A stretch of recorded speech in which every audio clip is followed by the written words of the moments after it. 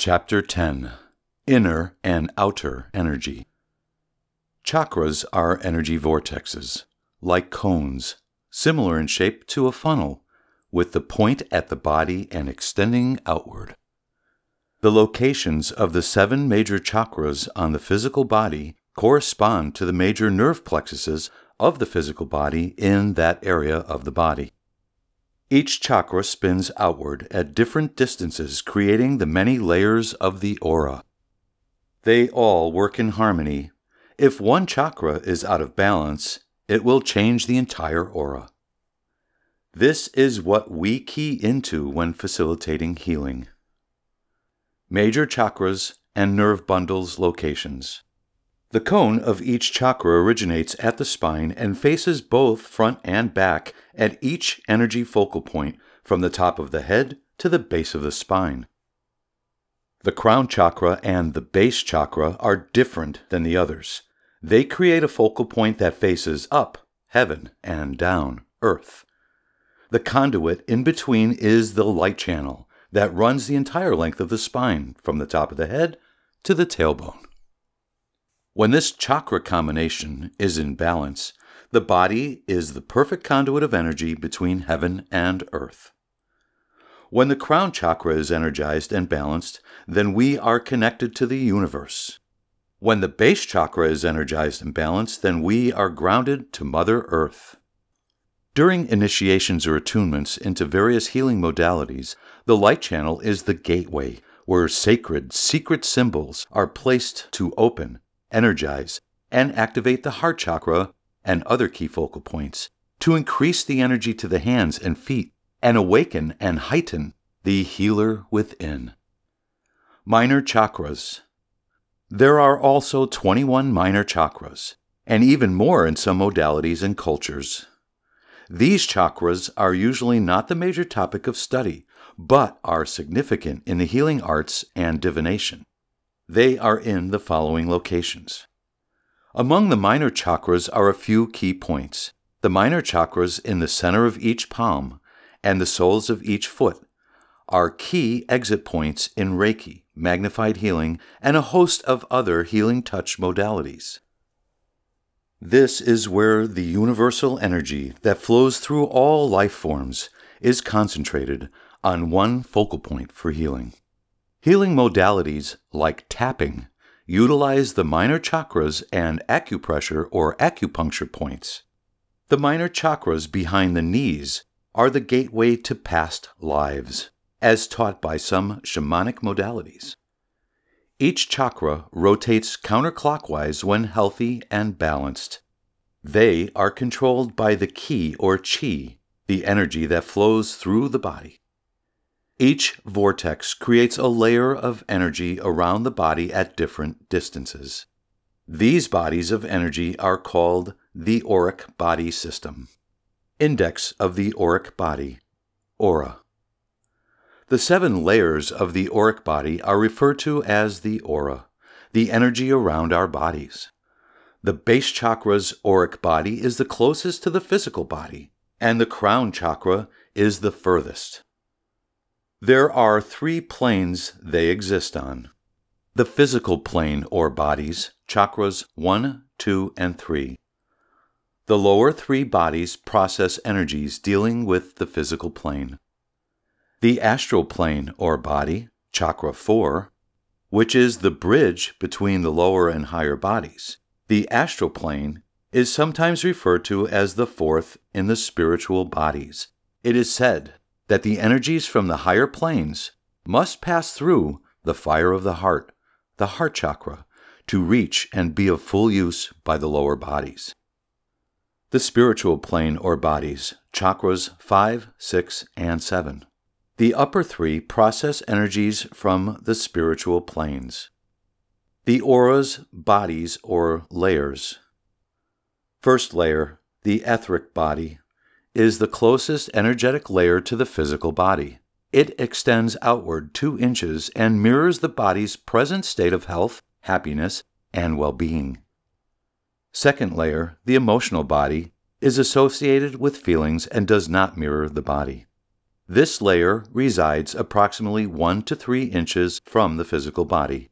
Kirlian photography shows this body contains all the colors of the rainbow, whereas the other layers do not. Third layer, the mental body, resonates with our thoughts, prayers, desires, intentions, and mental processes. It extends 3 to 8 inches from the body. Fourth layer, the astral level. The true bridge from the physical to the spiritual plane extends between 6 inches to 1 foot from our body. Fifth layer, the etheric template body, said to coexist in a different dimension and can only be seen by clairvoyants and very advanced healers. This layer extends one and a half to two feet from the body. Sixth layer, the celestial body, is the spiritual emotional plane extending upward two and a half feet. It is where we feel things such as bliss, isness, oneness with nature, and spiritual ecstasy. Seventh layer, the Ketheric template or casual body. This is the mental level of the spiritual plane and contains all the other bodies within itself. It is the main Kundalini force that runs up and down the body and extends up to three and a half feet from the body. Eighth layer, the cosmic level or cosmic bridge, or perhaps an angelic layer. Could this be where our guardian angels resides? I believe so. This is the closest cosmic layer to our own auras. When we have a thought or intention in the mental body, or third layer, it is reflected in the emotional body, or second layer. The astral bridge, or fourth layer, now vibrates with this energy and sends it to the Ketheric template, or seventh layer, which pings outward to the cosmos, or what I want to believe is the eighth or angelic layer. This is the cosmic bridge. From here, dark matter, cosmic threads, or in essence the rest of creation, the ether or world of the formless, spirit world, call it what you will, receives your signals. Those that resonate with it can do something for it, will be spirit guided to contribute unknowingly to your intention. The butterfly effect. Even an animal crossing your path at that very moment is the universe or God answering your prayer, so to speak. Animal totems, shooting stars, cloud formations, a scent in the breeze, a crack of thunder, a pretty flower, a bee sting, a bird stops and sings to you. These things happen all day long, every day, throughout life. The universe does not only answer you when you request something of great desire, so look around, look up, and become aware of your surroundings all the time. The entire universe is talking to you as you think, pray, wish, meditate, or just space out. So pay attention. Be a shaman. Be present in the present moment. Live and walk in isness. Chakras have planes, referred to as the seven planes of existence, and aspects, not shown in the above chart of front and back aspects of the chakras. The front aspect pertains to feelings in the world of reality, in other words, emotional, mental, physical responses to what is being experienced inside and outside the body at that moment. The back aspect is said to be driven by will and reflects potentials of what could be. In my modality, the Dragon's Way, I utilize these aspects in energy healing to clear issues that are in the here and now from the front aspect and to open the channels or portals to what can be from the realm of potentiality from the back aspect. To understand all these intricate workings and mechanics of all the major and minor chakras, the auric layers, and interweaving of these bodies, aspects, and planes would take months of studies. The point here is to get an idea of everything that we experience on whatever plane affects the body, mind, and spirit. The same holds true in reverse. What happens to us physically, emotionally, spiritually, and intellectually affects our energy, internally and externally. This is why it is so important to be balanced, because each chakra affects and is affected by each outer plane, and they are all affected by each other. It is a ripple effect. If one chakra has too much energy, let's say the heart chakra, it is overactive, which for the heart chakra corresponds to relationship issues, grief, or sorrow. The heart chakra will be pulsating at a different frequency and amplitude. In other words, it will be out of sync with the universe's frequency. These are emotional reactions. If you look at the chart, you can see that the emotional tie involves the lower emotional aspect influencing the sacral chakra, digestive tract, and the third eye chakra, head functions. This is why emotional upheavals can result in headaches and diarrhea or heartburn. What is triggering the energy changes will affect the direction the chakra's energy flows, the frequency it vibrates at, the magnitude or strength of the wave, and the influence it has on the other chakra's plane, aspect, or body. Like dropping a cinder block into a kidney shaped pool of water. The waves will splash over every single side of the pool eventually, but at different times and wave heights upsets the whole apple cart eventually. The flow of universal energy. Some of you reading this book are in the healing arts and understand everything I have been talking about so far.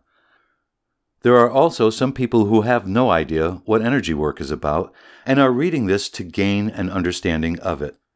It may be spirit guiding them into a life in the arts, or perhaps to feel more confident in taking on those that are sick within their circle of friends and family. Whatever the reason may be, it has brought you here, and I am very happy about that. I want to journey a bit deeper into the healing art now, and perhaps shed some light on questions you may have.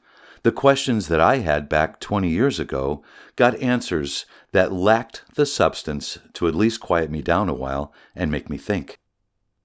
We accept that energy is everywhere and can be manipulated and moved to do work. Energy is movement, and movement is energy. Take lightning, for example. Lightning can travel in many ways. In electronics school, I was taught that energy was the stored ability to do work. A battery, for example, is a potential that is looking for a path to flow. A difference of potential exists from terminal to terminal. Okay, fine. Lightning, on the other hand, can travel from ground to cloud, cloud to ground, cloud to cloud, roll up in a ball, and bounce. What the heck? My point here is that we really do not know anything about what lightning really is or how it really works. Popular belief with some scientists is that neutrinos have something to do with them. And a really freaky thing is that they seem to talk to each other across sometimes hundreds of miles like synchronized swimmers. So, with no real understanding of nature's greatest show of beauty and strength, how do you think something like Reiki is going to be explained? The universe is a sea of potentiality. Yes, indeed. It is the potential to manifest anything in the world of form. The difference of potential here on earth is from above and below. We are grounded to Mother Earth. Therefore, we are like a lightning rod, if you will, to universal energy. What I mean by this is everything that has life that is on the earth and connected physically to it are like antennas to these cosmic waves. The planet is like a negative pole, and the universe is like a positive pole, so we are the wires. When I say we, I am referring to all life on Earth plants, animals, humans, etc. The potential is universal energy, so let us call the flow Reiki, and our conduit or wires in this circuit are all living things. Following Ben Franklin's method, I will start this, as he did, from the greatest potential of energy to the least. The light channel. The center of our body is the spine. The chakras emanate from the bundles at the spine. If we go through the layers of the core of the body, we will find the light channel. First, there is the outer body, the skin, then the fascia or connective tissues muscles, and then the spinal column. Going inward, we find bone, then, in a foramen or center hole of the vertebrae, the spinal cord, through the three layers of meningeal membranes that make up the dura tube. Cerebrospinal fluid flows through this tube that runs from the brain, where the fluid is produced, down to the sacrum at the bottom of the spine. Inside this fluid is energy, the energy that powers the chakras. This is the light channel, a metaphysical superhighway to our universal life force energy. The crown chakra connects us to our soul star. The root chakra connects us to our earth star. This is the flow of Reiki through the body. From the universe, it is channeled into the crown chakra via our soul star, then down through the light channel through each and every chakra, then out the root chakra into the earth via our earth star. Chakra 2.5 is our gut, or hara. I will explain in detail soon all about what this is and how it works. This is our intuitive center. This is where life and death decisions are made. It is our connection to all of life around us, to our surroundings via our senses. The light channel runs from the top of the head, center of the crown chakra, to the perineum, pelvic floor between the anus and genitals, center of the root chakra, in the physical body. As does the aura, the light channel extends in both directions to the ends of the aura, approximately 3 to 6 feet above the head and 3 to 6 feet below the feet, in the Ketheric body or seventh layer of the aura. Over the years, the distance of this layer from the body has changed, but until it is proven scientifically, I will stick to my three to six feet ish. At the ends of the channel are the Soul Star and the Earth Star. These two points are the amplifiers to our antennas. The light channel extends from the Earth Star below our feet up through all the chakras to the Soul Star above our head. I refer to both points as antennas because they both send and receive signals from above and beyond. Reiki practitioners, as do other healing arts practitioners, prepare themselves for using Reiki by grounding through meditation or prayer. This quiets the mind and centers the focus on the work to be done. The prayer, request, or call to Reiki is broadcast out to the universe from the crown chakra through the soul star and across the cosmos. This focused request is answered with the flow of Reiki back through the crown chakra and into the physical body, down the light channel, through the chakras, and out through the hands and feet. The Reiki that flows from the hands is not going through the chakras, it is flowing over the body of the practitioner. Reiki benefits the practitioner as well as the recipient.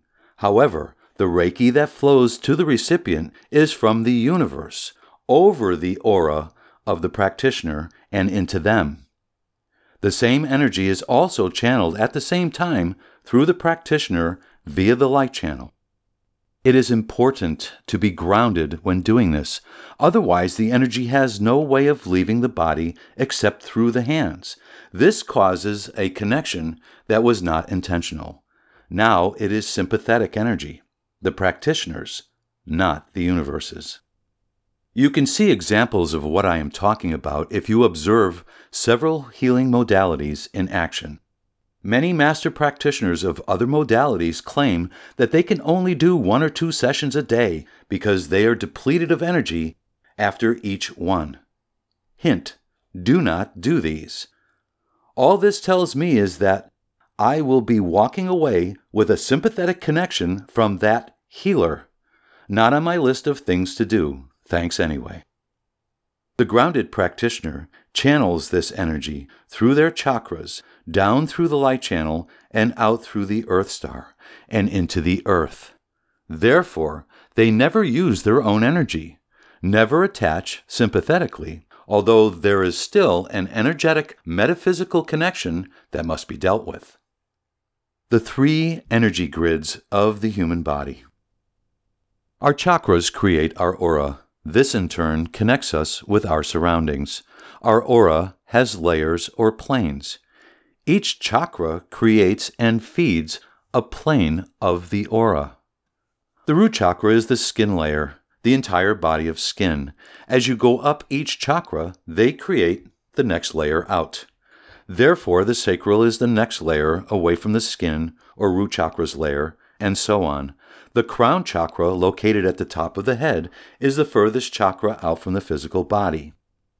When we say Namaste, we are actually saying, My crown chakra recognizes and honors your crown chakra.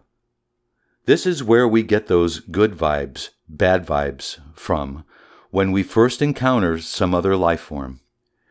It is the state of being of that life form that we feel the first vibrations from and make our assessment as to whether they are a good or bad presence. Soul Star connects us to the cosmic grid through the crown chakra, collective consciousness, creator, creation, beingness with all things. Chakra 2.5 is the hara, gut, our connection to the living grid, all life around us, plants, animals, birds, fish, and all of humanity, our animal instinctive center through our six senses. Earth Star connects us to Mother Earth. The Earth Grid, through your root chakra, connects us to the elements of air, fire, earth, and water, the trees, the sea, the ground, the wind, and sunshine. Three feet above our head is our soul star, and three feet below our feet is our earth star, and in the center of our body is our gut instinctive center, or what I call chakra 2.5. These three points are our connections to everything around us. These are the aura's connections to the outside world. End of chapter 10.